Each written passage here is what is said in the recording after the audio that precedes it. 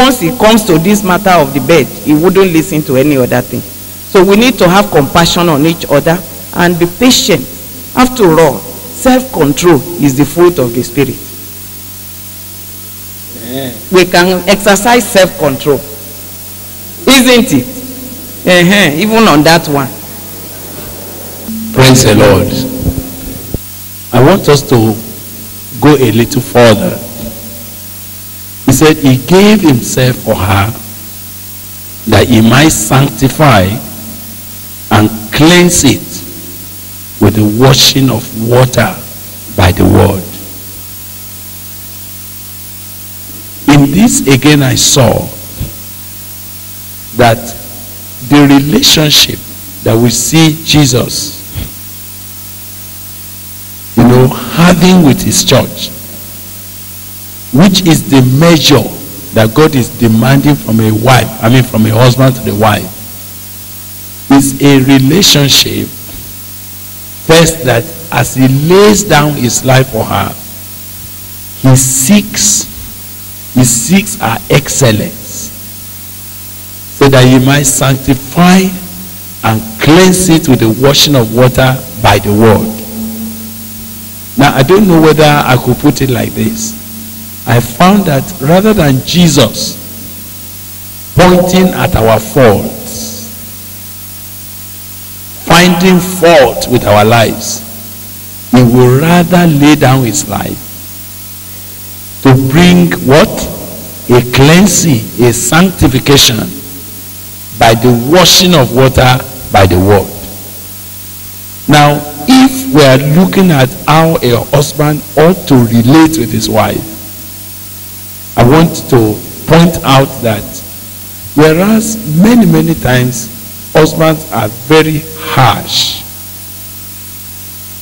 to their wives especially when it comes to the areas where they are not where they seemingly i use the word seemingly because when you actually get into you know relating with the women you find that even though you think there are many things they are not doing well the truth of the matter is that they are actually doing things from their best of intentions now take for example i know several of you.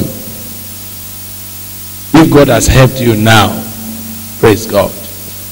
But one of the area of tension when you are going to church or you are going somewhere is the fact that you are already on the steering blowing the horn. And your wife is still moving in between one room to another. And trying to put things say look time time time time. What are you doing? You know you know we are going to go and you are wasting all this time to such a point that very many many times there's a little there's a rift. And it's like you cannot flow together. We have not known how to wait for each other. But only to discover that when you now enter the car and you have traveled for about uh, uh, 10 minutes or you go to church where you are going to preach and you now realize that you forgot your handkerchief. Eh? Whom do you quickly call? Eh? And what do you say? What do you say to her? Can i have an handkerchief there? Do, do i have my handkerchief there? And then the wife will say actually i know you didn't carry your handkerchief.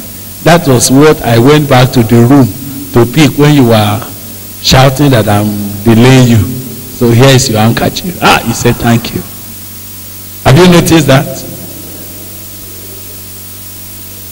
Have you noticed that many many things that you that you are you think about she's the one that actually undertakes all the details. As we are sitting here now if any of your children at home should make a phone call and say dad there is something that uh, they say I should bring in school. I don't know what to do. What do you do? Go and meet your mother. Let's imagine that as you and your wife are here in, in a veterinary resort, if anything happens at home, while you are completely blank, do you know that your wife will take the phone and say, Go into the kitchen. You will see the second shelf by the right. Open it. You will see a leather bag, blue. There are two leather bags. One is green, the other one is blue. In the one that is blue, when you open it, you will see a brown envelope. And in that brown envelope, there is another yellow envelope. Am I? eh? Now, where does the woman have the mind and the heart to remember such details? That as she's sitting here, she knows where everything is, right in the kitchen. And your boy will run there, do everything as she directed, and the problem will be solved. Do you understand that? So the issues are that some of the things that appears wrong, they are only waiting for washing. They may not be wrong. But how did Jesus sanctify the church? Number one, we saw that he gave himself for her so that he might sanctify, not criticize. Did you understand that now? What Jesus came to do was to do what? Sanctify, not to criticize. It is not pointing at, oh, you didn't do this. Oh, is that how to do this? And you have not done this. That helps a woman at all. If your wife is going to find the release, the constant ministry, the constant labor of helping her to attain her excellence, helping her to come to the best. In fact, the way the Bible said, that he might present it to himself what a glorious church not having spot or wrinkle or any such thing but that it should be holy and without blemish so ought men that is it is like this that men ought to do what? Love their wives as their own bodies. He love their own wives as their own bodies. He that loves his wife loves himself. Praise the Lord. While we help others to become better, to become well established, can we be ready to lay down our lives to bring our wives up to their highest potential, their glorious level, to the point that tomorrow you can sit back and see your wife perform and you are feeling a sense of satisfaction. You are feeling, oh, thank God for this, my wife. Ah, thank God she's doing well. Oh, you can present her to yourself. You yourself can be so excited and say, God has done something. But this does not happen by criticism. It only happens by, first of all, laying down ourselves, laying down our lives, and giving our time, our attention in order to sanctify her and to cleanse her with the washing of water by the word. Praise the Lord. Praise the Lord. So ought men ought to love their own wives as their own bodies. For he that loves his wife, the Bible says he has only loved himself. I think it's Mrs. Anyani Ola yesterday that said, do yourself a favor love your wife. Is that what you said yesterday? That when a man loves his wife, actually he has only loved himself. My own discovery is that whatever you actually have invested in your wife, do you know you have only invested it in yourself and for yourself? Am I right? Eh? do you know that instead of keeping away, instead of being busy up and down there, to such a point that the kind of things that your wife should have done on your behalf, you are struggling to get someone from somewhere to come and assist you simply because we did not do what we ought to do in order to prepare her, to make her glorious, to make her presentable, to make her without any such thing and without blemish. Now, I would like to suggest, before we now leave room for the discussions and questions that we may have, I'd like to suggest, I'd like to suggest that if any man will see the glory of God in his marriage, the standard that God is laying down for us is here. So for no man ever yet hated his own flesh. But what does he do? He nourishes and cherishes it, even as Christ does the church. So we are noting that as we draw this, what to do for a wife is to do what? Is to nourish. A wife you did not nourish will not be cherishable. Eh? The nourishing we are first dealing with, uh, may I say that whereas we must nourish them in terms of their physical food and all of that, but I think many, many wives are malnourished spiritually. So many wives don't get something fresh to grow their own lives to make them robust. Sometimes if a wife is going to get something, she has to strain. Brothers and sisters, it's all right for your wife to be struggling with other women in the church to catch something. But I like to say that it is unfair. If we will give space, because you know the truth is that whatever you are preaching, your first interpreter is your wife. Am I right? Whenever anybody wants to measure whether what you are saying is real, the first person they will look at is who? Is your wife. Many times we want our wives to perform without making any input into their lives. Many times we want them to be on top there without nourishing them, without making input into their spiritual growth. Now I found that the correct husband that the Holy Spirit is pointing to us is the representative of Christ in the family. Is the one that showcases Christ to the wife and to the children. Praise the Lord. You want to make any contribution to this now? Or we should take questions? All right. So let's have our brother Pofi come and administer the questions. Amen. One thing that has become very obvious is that whether you are just starting or whether you have been in it in, for a very long time, we are all students. From the questions that are coming and the reaction, it is obvious that we must remain students of one another. Uh, so from all that has been said, uh, we have some questions here. We'll try to sort them out.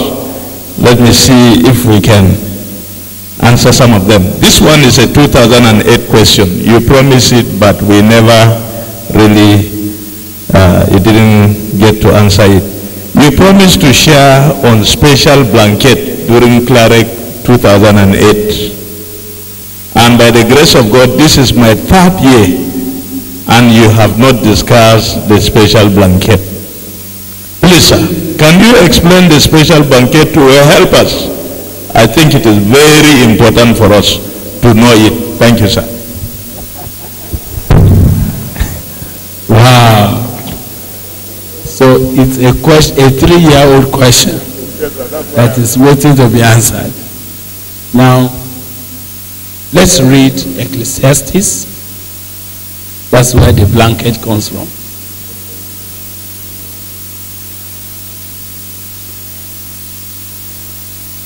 Genesis chapter 4, verse 9, verse 10, verse 11, and 12. Two are better than one because they have a good reward for their labor. For if they fall, the one will lift up his fellow. But woe to him that is alone when he falls, for he has not another to help him up. Again, if two lie together, then they have heat.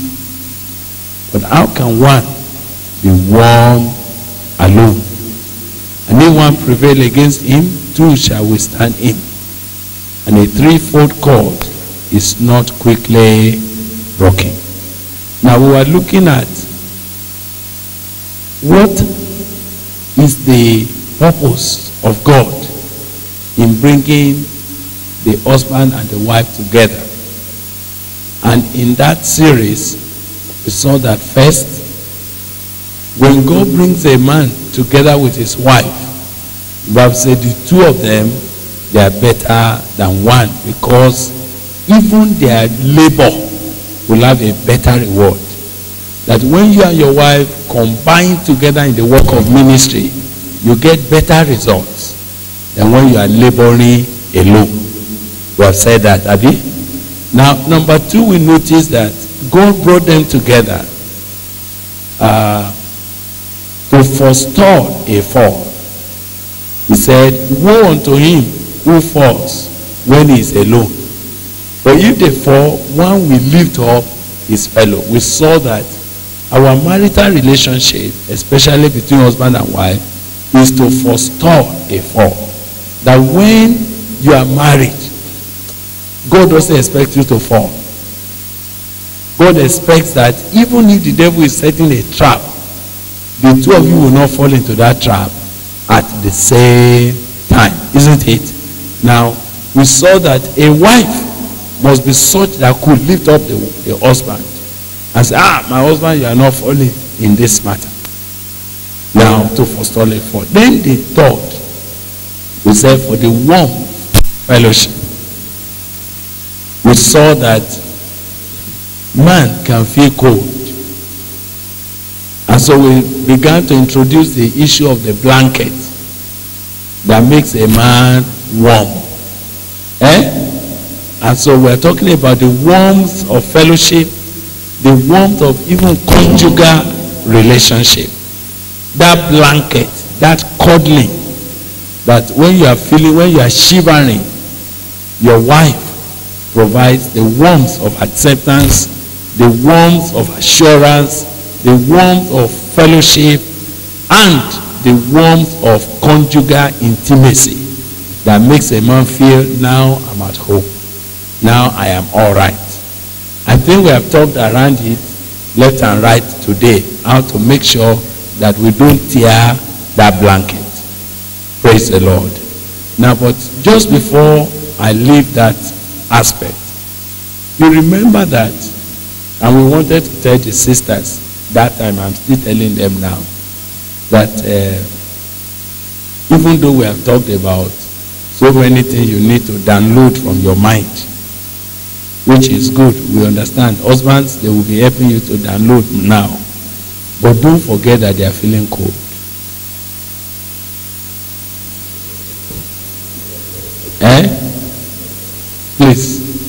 He is feeling cold. And what he needs is not ordinary blanket. You remember how David, when he got old, they said he was always feeling cold. And no matter how much blanket they piled on him, he was still feeling cold. Do you remember?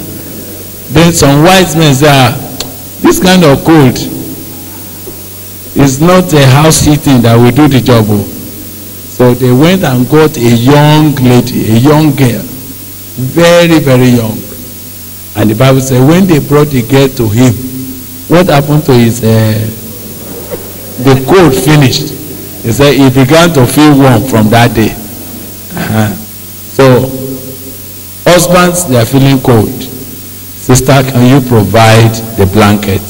The lord will help us in the name of jesus christ. Sometimes sisters also feel cold. Eh, yes. But they don't show it. oh they do. When they ask and say ah give me your time. It's you i need. Eh? And uh, you will be married to ministry married to computer married to your car. They are feeling cold at home. That's what she said husband they said they also feel cold sometimes oh. o i thought they don't show their own cold. But sometimes when they say we need you at home they may be asking that after the discussion the other side of a blanket can roll. The lord will help us in the name of jesus christ. Please keep your ba keep the blanket for us thank you sir have i answered the question. Yes, sir, I think so. Thank you, sir. Now, how long does it take to disciple a soul? That's the first question. The other question is, can one divorce his wife for confessing she is a witch?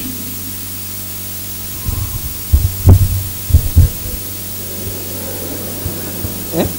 How long does it take to disciple a soul? oh And can one divorce his wife because she has confessed that she's a witch?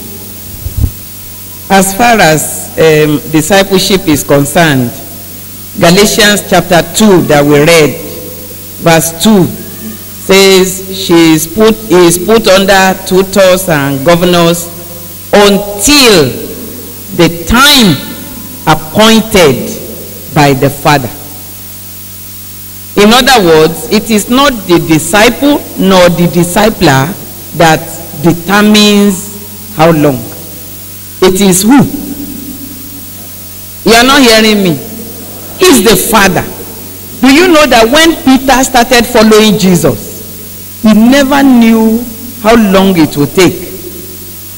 When Elijah, Elisha started following Elijah, he didn't know how long it would take. But it took 14 years. For Peter, it was three and a half years. For Moses, he thought by the time he now settled in Jethro's house, he was married, he was having children. He didn't know it will end anytime. He just was living. In fact, the Bible said he was content to dwell with him. But God has the timing in his hands. 40 years later, it was time. So the timing is of the Father. And we need to wait. You don't have to say it must take six months. Eh, after six weeks of learning discipleship, we are finished with discipleship. No. In fact, in our discipleship relationship with Jesus, it is for life. They don't graduate outside, I mean, graduate from discipleship. Peter never became any other thing until he died. He was a disciple of Christ until he died. But when you talk about tutors, governors, stewards, when until the time appointed by the Father. Sometimes God takes you from one to the other depending on the need of your life at that time. And sometimes, like Timothy, God may say, This one is staying with Paul for life. The Father has the timing in his hands. And then that uh, your wife is a witch and you want to divorce. I don't know any scripture that says like that. There is no such scripture. Even when the scripture talks about uh, for the sake of fornication, even that one, you will discover that he's talking about fornication, not for the sake of adultery. And fornication takes place only when someone is single. So it's not even saying for the sake of adultery you can divorce. In fact, in Malachi 2, the Bible says, God said, I hate divorce. That's the final. And how will you want to do what God hates? He said, you, you, he said, even Moses permits you to put away your wives only because of the hardness of your heart. Otherwise, there is no room for it. If not that your heart is hard. And so if somebody's heart is hard, which heaven will he go? What God demands is forgiveness, no matter the gravity of the offense. Forgiveness. except you don't want to go to heaven. Praise the Lord. And do you know that what leads to divorce is unforgiveness? By the time you come to the end of your relationship and say, I don't want again, what you are saying is that even if she changes, even if God forgives her, I'm not ready to forgive her. And do you know that there is no divorce that any day they mention her name or his name that you feel relaxed. Do you know that? Do you know that divorce is a sign of permanent unforgiveness? And if there's somebody that you will not forgive in your lifetime, he said, Your Father in heaven also will not forgive you. Now, so I want to suggest that as we look at the issue of relationship, uh, the relationship Jesus Christ is having with the church is not because we have not misbehaved, but He keeps forgiving us. Isn't it? To the point that He said, Whenever I see the blood, I will pass over you. I wish God helps us to be able to keep looking at one another, looking at each other through the blood through the forgiveness that we have received.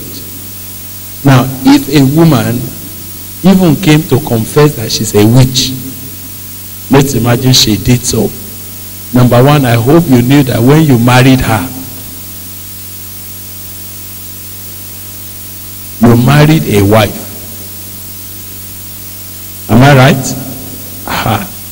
What was turning her to a witch is part of what you should have sanctified her from by the washing of water by the word of God. Actually, I feel that when a woman is married to a man, a man of God, the Bible says she is sanctified by the life of her husband. This lack of ability to sanctify her is pointing at a weakness in the husband to now stand up and divorce her and say, Well, I am I, I send her away because she's a witch. So that you can marry another that is not a witch. I'm hoping that it is not the woman you want to marry that is actually not the one bewitching your wife from your house. Thank you, sir. Uh, this is a personal question, and I believe that the answer you will give to this question will help us ministers here. The question is, how did you invest in your wife that got her to the present state where she is able to stand on her own and is able to teach with confidence? How did you? What did you really do, sir? What did I do to you? I thought that's the right question. I mean, that's, that's the way to answer it. So, the question is How do you disciple a wife? I think that's the question. How did you invest in your wife for her to come to a point where she can become presentable, glorious in the various things that God may want her to do on your behalf? So, please, what did we do to you? Hey. you want a testimony. But I hope I don't have time. You won't give me time. now, well, just maybe I will cut it short, short, short. Um, we met at the university, and uh, we were in the same fellowship. Of course, you know, in those years, we had only one fellowship eh, on the campus. We run into thousands. And we were in the same, um, what do you call it, activity group. We, we were in the village evangelism group on campus. And by that time, I was just coming into the Lord and growing while he was leading. Are you getting what I'm saying? And as we continued growing, in those days, there was real honesty in serving God. All of us that were in the village evangelism group, we could be in the villages for days, going from one village to the other, preaching the gospel. But he being the leader, I must tell you, I grew rapidly from under him. I grew spiritually from under him. So the issue of discipleship, even though we didn't know it as discipleship that time, that was what he was over us, all of us in that group, men and women. He will teach, he will go from room to room, visiting, teaching us, and when we come together again, he will teach before we ever go to the village evangelism. So that was where my growth started. And when we got married also, of course, that again now gave me uh, opportunity to actually know him because we were students. I knew him, but I, I know that you know what I mean. Is when you marry a man that you will really know the man you have married. And our lives together, our sharings together, I knew that I have married a spiritual man. I knew it. And even though I was coming raw, far behind in terms of spiritual growth, he was far ahead. Yet I knew I have to, I, I had a challenge of having to run after him in terms of spiritual things. He was far ahead of me. Sometimes I will be panting. I will tell him, please, don't forget that your wife is not as mature as you. And that gave me more room to press on, to grow, to know the Lord much more. Even at home, in terms of character, he was far ahead of me. No matter my misbehavior, sometimes I won't talk to him. And uh, I will say, ah, you don't even consider that uh, you have a wife here. But the way he would patiently bear it, it kept convincing me that, Kai, I have met somebody. Again, that pushed me ahead to go on and grow more, grow my character much more than ever before. And when the understanding of discipleship came, I was telling somebody the other day, I said, as I understood the issue of discipleship, it was then I knew that, oh, my submission will not just be um, in terms of a wife to a husband. He is my discipler. He has been. But when we married, I thought, he, well, that's my husband. But my eyes opened that, oh, this is my discipler. So my relationship became much more sober, much more grave, that made me to be able to learn from him. As you see, even though if he also tells his story, in terms of our oneness, there is not anything we really do without tapping from each other. There is none of the articles I have written. I can't, I don't have any confidence to print it until he has read through and made an input. So in other words, when you read any article with my name, it's not me alone, no. We did it together. And when you read any of those books, don't ever think he, wrote, he wrote it alone. We did it together.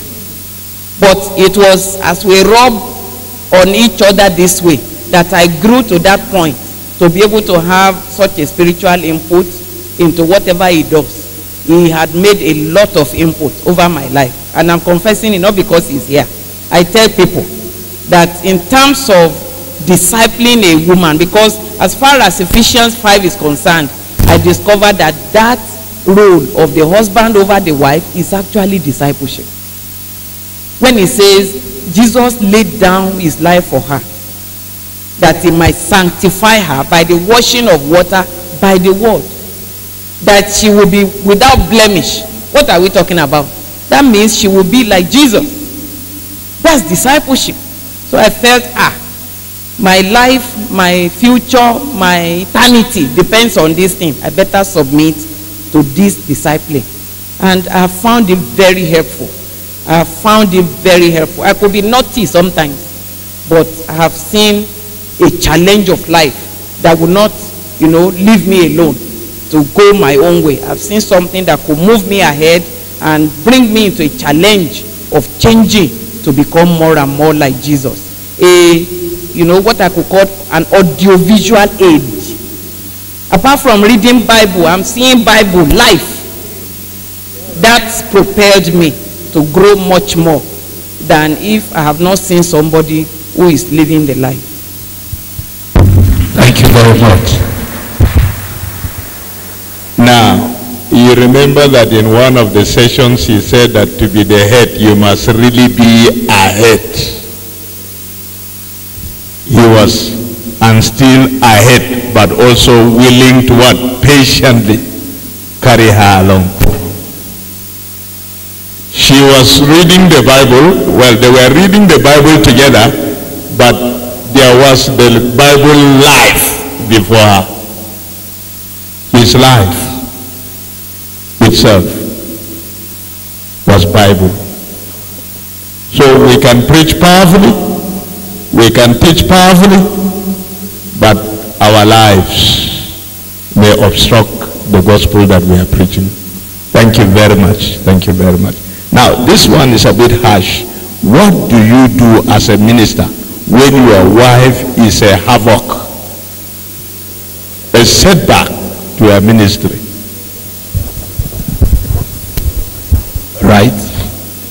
Thank you very much. Can I, let me say that the challenge you think you have in your wife is actually the reason for your marriage. I said the challenge you think you have in your wife is the reason for your marriage. God gives a husband opportunity.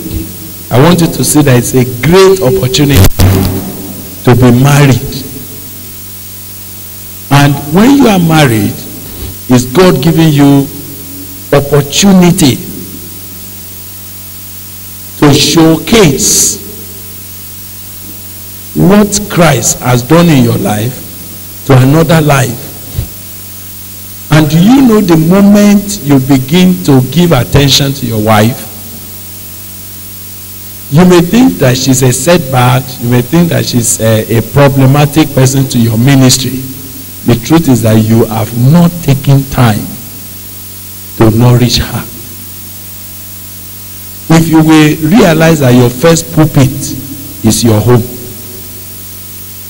huh? the first thing is this if the woman is born again, there's nothing God cannot do in that woman's life. If she's not born again, once upon a time, you were not born again. Am I right? God who worked on your life and brought you to where you are can also do it. But what is it that we need to do? What is it that we need to do? I found that Jesus Christ interceded for his church. He's still doing so till today. Abi? Now, but there's a problem about bringing up a wife. And I want to speak about that now. Bringing up a wife is not the same as bringing up any other church member. I don't know how you understand that now. Now, whereas you dress up to come to the pulpit as a man of God, you give instruction, the church member say, Thank you, man of God. Thank you, man of God. But your wife has a part in you. She relates with you not as a benevolence. She relates with you because you are obligated to relate with her. So when you want to help a wife, you are not preaching at her as we preach in church. Do, do you understand that now? One of the challenges that some of us have is when you have quarreled with your wife, you now reach out for the Bible. And you now turn to the Bible and said, the heart of man is desperately wicked above all else. Who can know it? Do you know your wife will just say, eh, it's all right. Man of God. Eh, Preach it. Preach it. The heart of man. Is it because we quarreled? That's why now you are reading the Bible to flog me. It's okay. Now, what it means is that even sometimes you cannot even read Bible in the context of a relationship that is already sour. That's where the trouble is. And if you struggle to read Bible or to preach Bible at that time, you will only end up quarreling. You know that sometime your quiet time has ended up in quarreling. And the reason is because you are operating a different rule. The rule of ministering to church member is a little different from the rule of ministering to a wife. And the first thing is that the wife has to see before she hears. I don't know whether you're getting me. The wife has to do what? See before she hears. Please don't preach patience to your wife until she has seen patience. That's why I told you that marriage is the greatest laboratory where authentic Christian life is groomed and developed. So, brother, can I say to you, your wife is not as bad as you have said it. I think it's the reason why you got married to her. Now ask God and say, Father, make me a husband indeed. Can I tell you the word husband? H U S, not H O R S E. One is horse, the other is husband. And the word husband comes from husbandry. And what is husbandry? Husbandry is the, that branch of, of agriculture that does what? That tends a wild animal to make it a household pet. Eh? You know that every household animal has a counterpart in the bush. Am I right? What changes the one in the house from the one in the bush is husbandry, is care, tending, shepherding. I want to trust God that if we respond to our ministry as the husband, the ministry of the husband is husbandry. If we will do it deliberately over our wives and over our children, by the grace of God, you will see that what you are calling white character, that doesn't like to talk to anybody, you will see that it will collapse. And by the grace of God, he who loves his wife actually does what? Loves himself. Let me say, the more you postpone the attention you ought to give to your wife, you are only postponing your time of rest. Don't be too busy going up and down. If I have chance, I will send you back home. There are times we have, together with my wife, withdrawn pastors who are on the pulpit. We say, come and stay with us for one year. We've asked the senior clergy or the presiding officers over them, release this man to us for one year. Let him take a leave of absence from public ministry and it's simply to do what? To make an input into their marriage. And once the Lord has blessed them, they bounce back into the ministry and you see that things are happening. For me, to build your wife is an investment that you will eat from all life long. So why don't you do it now? Thank you, sir. Maybe this will be the last question for tonight.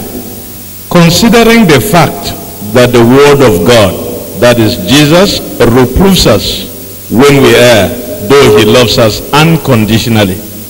Is it out of place for me to reprove my wife, though I love her, when she does wrong, in order for sanctity and sound relationship to take place? Did you get that question? Please answer it. All right. She said I should. Let me say that it's not wrong. It's not wrong. But what makes it wrong sometimes is the atmosphere. Eh? You know that the Bible says speaking the truth to one another in what? In love. The Bible talk about that the law came from Moses, but grace and truth has come to us in Christ Jesus. One of the things I want to say to you is that for your rebuke or your reproof to land properly on your wife's heart, it must be packaged in the atmosphere of grace. Are you understanding that now? You may want to reprove your wife, but when you are doing it in the presence of your children, or when you do it in the presence of your junior brothers,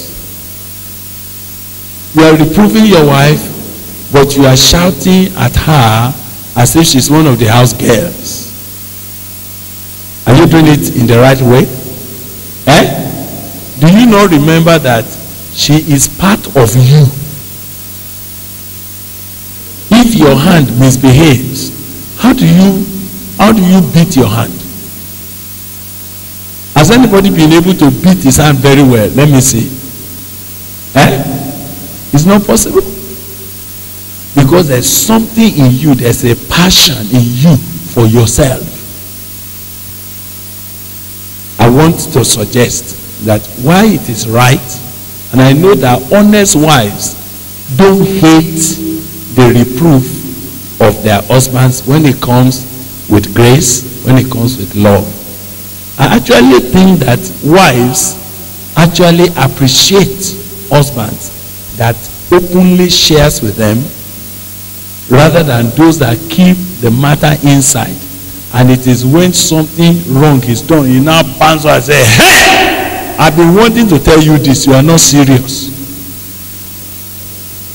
Can I say to you that your wife depends so tenderly on your evaluation of her life in your words. Your words mean so much to your wife more than your money. That's why you see, when you give your wife money, you may think she's looking at your hand. Do you know where she's looking? She's looking at your face. Because as far as the wife is concerned, she wants to see from what heart am I collecting this money? You understand? So the words that come out of your mouth, she she keeps it. That's why sometimes you will you will remember that a wife is remembering something you said five years ago. Because words are very important to her. And when a husband continues to speak words that condemns, that makes it look as if the wife is not growing at all, you are making her totally hopeless. And she said, I don't know what to do again. And you know, any genuine wife who wants to be a Christian does not want the admiration, the commendation of external men. You are not hearing me. So when your wife has finished making her hair, do you know that the reason why she rushed to the room without covering it is for you to do what? To say something. So that's nice. Oh, The sisters are saying he is telling the real issue. Let them listen to Bragule now. You see, but many times she has done all of that elaborately. You didn't care. The only thing you are now talking about is, and so you spend two hours making your hair. These children have not, uh, so, so what is all of that? You don't know that what you have done is like you have said to her, all that you have done is useless. So she doesn't know what to do. And yet, if she goes out, those that have eyes, quickly say, Ah, madam, you look so nice. But for her heart, she needed to hear that from her husband, not from somebody outside. Do you understand what I'm saying? Please, husbands, don't be stingy. Please let me tell one brother by your side, don't be stingy.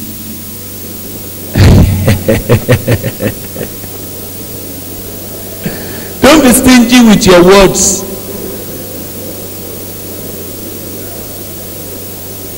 There is something that releases a woman that makes her to do better and majorly words from your mouth. Thank you. God bless you, sir. Hallelujah. Uh, I know that we have been enjoying ourselves, and particularly these sessions. My prayer for all of us is that these little, little things that we are learning, even though we have been married for many years, that we will trust God to appropriate His grace and to put them into practice. Amen? You know, there is something that they said is the fact that if it is well in church and it is not well at home, there is a problem. It has to be well at home so that it will be well in church. And I think the serious problem that we are struggling with is this issue of compartmentalizing our Christianity.